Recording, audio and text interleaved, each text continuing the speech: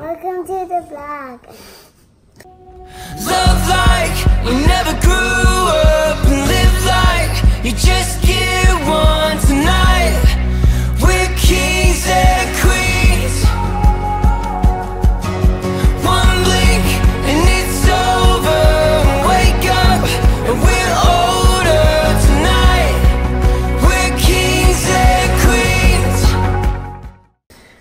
We are continuing our chicken batch cook week. Can you say that? Chicken batch cook week. Very good. And tonight we are making, see, chicken pot pie. Chicken pot pie. Oh my goodness, chicken pot pie. Yeah. Are you gonna help me? Uh-huh. What are we making? Cheese pot pie. Cheese pot pie? Yeah. Well, that sounds pretty delicious too. We're gonna make the pie crust, right? Oh. So what's in there right now? Cheese No, what is that? and butter Butter. And what else is in there? and flour. That's right. What's this down there? The pink stuff. Um, salt. Very good. What are we gonna do with this? Um, like this.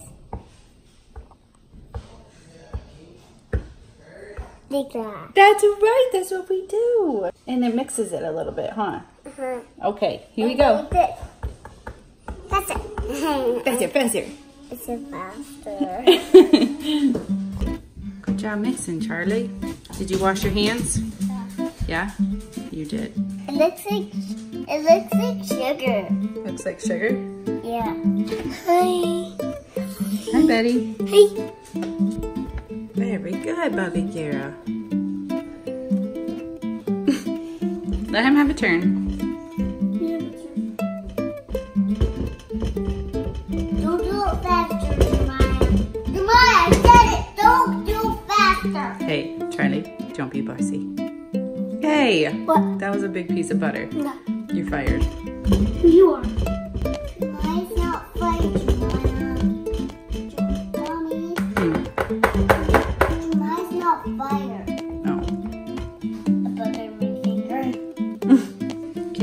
add in one fourth cup of cold water. Okay, pour it in. Very good. You're gonna use your hands, okay?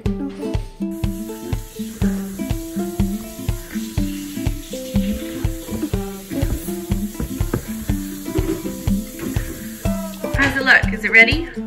Yeah. Yeah? So now we're gonna cut it into two equal size shapes. Just right down in half. Okay, now we have our dough balls. We wrap them up. We're gonna put them in the refrigerator and then that, so that they can harden up and the butter can harden back up. That means it makes it extra flaky. And, and, and they're gonna get cold. That's right, they are.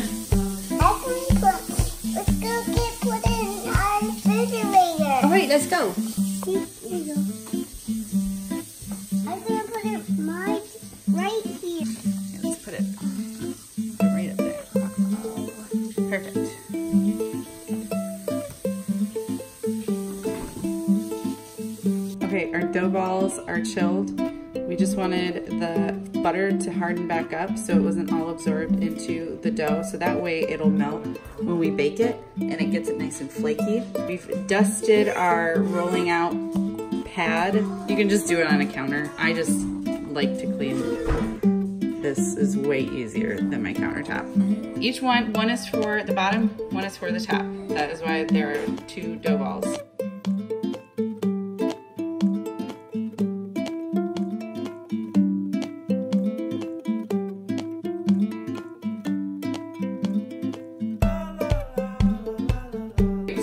Have the chicken pot pie filling that we did the other day when we were doing chicken in a cloud. And we made a double batch because we wanted it for leftovers. So we just had it in our refrigerator, but you can freeze it.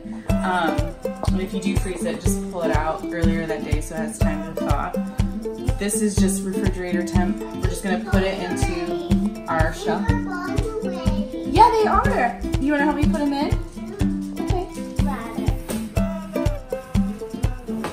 I'm just gonna put the filling into the pie shell, and it is really nice to have a. It is really nice to have. Oh, because yeah, pull it up again. 'cause actually the ceramic is already crimped, right? Yeah. really nice to have a Wavy. Mm. pre-crimped Makes it look nice. pie plate because we don't really have to worry about how. Who's this? Who's this little girl right here? Ready to help? Can you scoop this in there? Move your arm so it doesn't fall on your arm, silly. Here we go. Whoa! That's corn.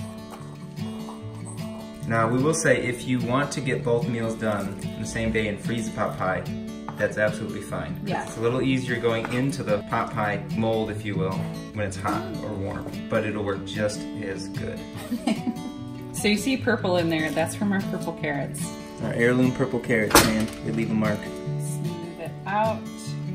And this pie crust literally took me less than 10 minutes to prepare. So this is really a fast dinner to put together.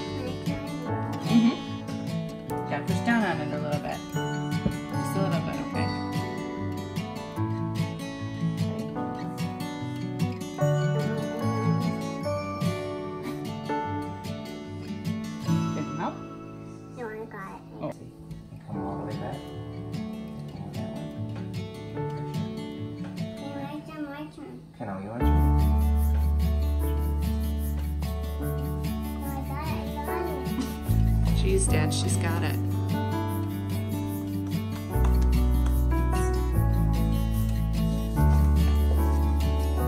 It's a good looking pie crust.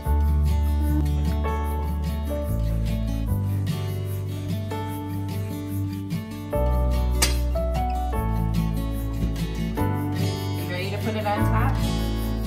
Roll it up on the tray. Gently, gently. You want to smush it back in. Bring your pie over. There you go. There you, have, there you have it, folks. Smushy. Is it smushy? Yeah.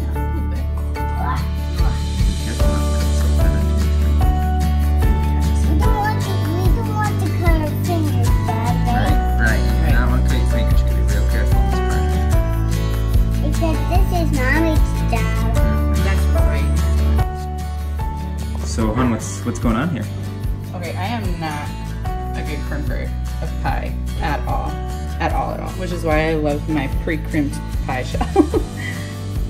or my pre-crimped, Why would you crimp it? my pre-crimped pie plate. What's what's happening to the dough? Why are you crimping it? You want, you want the stuff to stay in. So you're what? You're sealing it? Yes. Oh. Job. I cut it to where the pie crust was a little bit over the edges. That way I had enough to fold it underneath and then you kind of pinch it together. Now, there's a bunch of different ways you can pinch it, seal it, whatever. It's important to fold it over and seal it. Yeah. This is just the way that I have done it. Like you could also like have it like this, where you go Well, that's pretty good. You sure you're not hiding out other ways? What do you mean? That is another way. I know. I'm just saying. I'm just going. That's that's easier to do like when you don't have a pre-crimped Mm. pie shell. I but see. since I already have one, Just use it. yeah, I'm just using the lines that it's given me. Tuck it under, and then pinch it together and pinch it shut. So I'm like pinching my thumb and my forefinger together, and then I'm pinching together right here. So that way it's making at least a little bit of a pretty design. Next comes the egg wash, and then we're gonna do a fun little design on top to let out the steam. Do it too small, it just closes up and doesn't doesn't act as a steam a steam release. Correct. Right. So you want to make sure they're decent sized slits. Egg wash. We're almost there. Super simple. Crack an egg. Take a pastry brush. Mm-hmm. Just whip. Egg white, egg yolk, the whole thing. Yep. This gives it a nice, shiny gloss over top, and that's what makes it look super professional. And your guests or your family are just never gonna believe that you actually did it yourself. Ready? You gotta be brave. Just put it down. Okay, can you tell Daddy what you're gonna do? What are you, what are you doing? What's in there? Egg. That's right. What does this do? When you put egg on pie, what does it do? Um, it make it darker and shiny? Yeah. Yeah, it gives it a nice golden brown crust, huh? Yeah. And it's a purple. It makes it purple? Yeah. Oh, that's beautiful. And even they can bake black. It can bleed black. Yeah. Can I keep putting on there? so now we're gonna put it into the oven at 425 degrees Fahrenheit. It has to be a preheated oven. And then that's gonna go on there for about 15 minutes at 425 and then we're gonna bump it down to 375 for the rest of the time, which is about another 30 minutes.